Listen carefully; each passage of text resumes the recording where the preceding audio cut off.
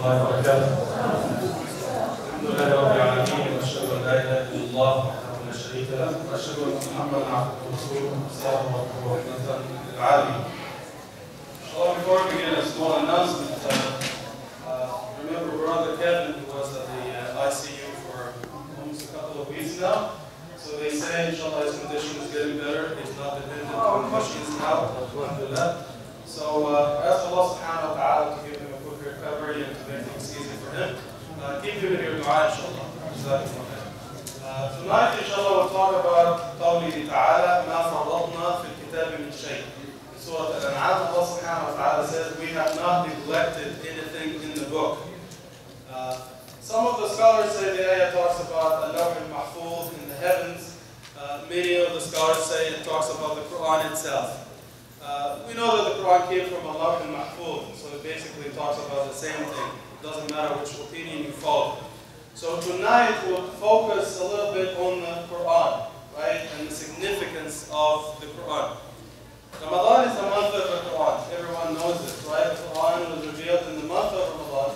And the Prophet ﷺ used to review the Quran with alayhi salam once every Ramadan, but the year in which the Prophet ﷺ passed away, he revised it twice with alayhi salam. So it's recommended to read the Quran, use it in Salah, study the tafsir, and so on and so forth. Uh, those of you who studied Islamic sciences, they, they know that the Quran preserved the Arabic language. Without the Quran, the Arabic language would have been like Greek or Latin. They're not in use anymore, right? But because of the Quran, people use the Quran, they recite the Quran, and so on and so forth. The Arabic language was preserved because of the Quran. So many Islamic sciences were based on the Quran. Uh, I, it was very interesting to, for me to find out that the, uh, the science of algebra was developed because of the Quran and the concept of inheritance, mirath in the Quran. Because the ulama wanted to, uh, to be able to distribute the shares of inheritance fairly, so they developed this science, right, of algebra, right? So this is one thing. Uh, in balagh, uh, eloquence, uh, qira'at, Uh, tajweed, ulum al-Quran, right? All these different maqamat, all these sciences were based on, on the Quran, right? And so on and so forth. So Allah subhanahu wa ta'ala says that a Muslim has to be connected with the Quran. Whatever you're looking for, whatever questions or challenges you have in life, the answer is always in the Quran.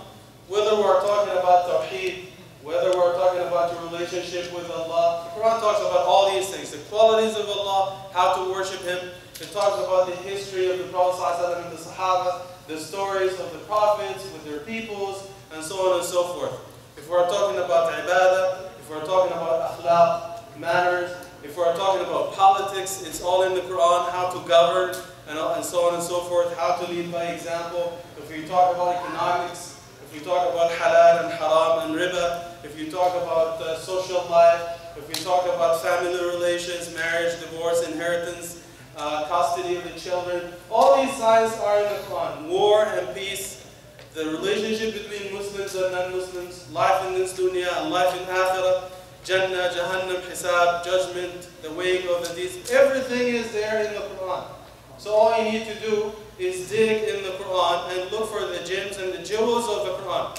For the last 1500 years, scholars have been digging in the Quran and they have been you know, finding all these great uh, findings in the Quran, in different sciences and in different fields, right? So you as a Muslim, yes, alhamdulillah, it's good to memorize the Quran and everything, but Imam Ibn rahimahullah says that the people of the Quran, yes, if they memorize, alhamdulillah, but if they don't know the meaning of the Quran they don't apply it to their lives, they are not the people of the Quran, they're just huffaz.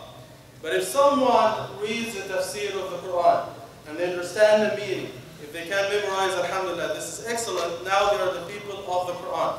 So again, whatever situation you have in life, whatever challenges you face, look into the Quran and you will find and you will find the answers and the solutions. If you go to YouTube, there are so many people, scholars and priests and ministers, people from every faith, who accepted Islam just because they read the Quran and they found solutions to their problems or their challenges. The examples are so many, right? You can just Google them or go to YouTube. Uh, I'm going to leave you with this, and as usual, I'll conclude with a small story to uh, clarify the meaning of we have not neglected anything in the book. If Allah subhanahu wa ta'ala is talking about the Quran, He never neglected anything in the book, whether He specifies it clearly in the Quran or He gives you general guidelines to know what is right and what is wrong. Uh, the story is a true story. It happened in the U.S. several years ago. Several years ago. They said there was a Muslim uh, student in the class. Uh, he was practicing, he memorized Quran and everything, right? And the professor was a Muslim, but he was a secular, right? A secular, right?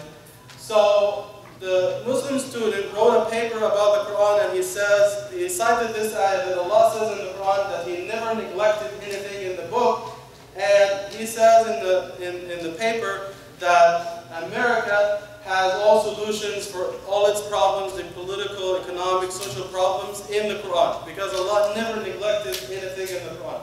The secular professor disagreed, and he says Allah does not explain everything in the Quran, right? The Quran doesn't talk about everything. It talks about some things, but not everything.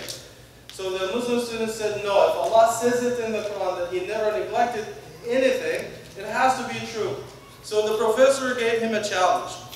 And he says, where does Allah talk about my bald head in the Quran? He didn't have hair, right? Where does Allah talk about my bald head in the Quran? So that it's easy, it's in the Quran, في سورة الأعراف والبلد الطيب يخرج نباته بإذن ربه والذي خبث لا يخرج إلا نكدا right? So he says Allah says in the Quran the good land will uh, produce immensely or to, uh, a lot but a uh, an evil land will not produce anything. So it talks about your head. So my apologies if someone is bald no offense right?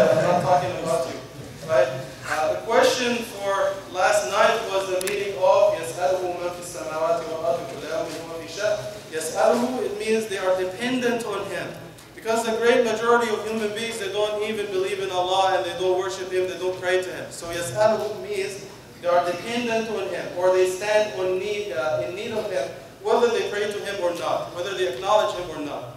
كُلَّ يَوْمٍ هُوَ فِي شَأْنٍ Day in and day out, He has something to bring about. Uh, he gives life to someone, He takes someone's life. He makes someone rich, He makes someone poor. He gives izzah to someone or He disgraces someone. This is the meaning of the ayah. And the winner is Sister Samia Amr. So we'll give her the prize after, inshallah. So last question is easy, inshallah. So this is your chance, okay? Sab'a al-mathani. Al-mathani. Allah subhanahu wa ta'ala in Surah Al-Hijr talks about the al-mathani, the seven often repeated verses in the Quran.